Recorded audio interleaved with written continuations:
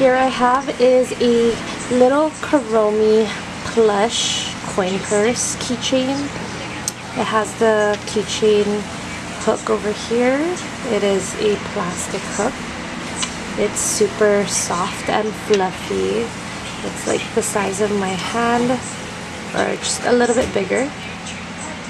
Here's the back. It has one zipper and then this is the inside. You can just put little stuff in here, like maybe your lip balm, a few dollar bills, coins. And that is it for this Kuromi plush coin purse.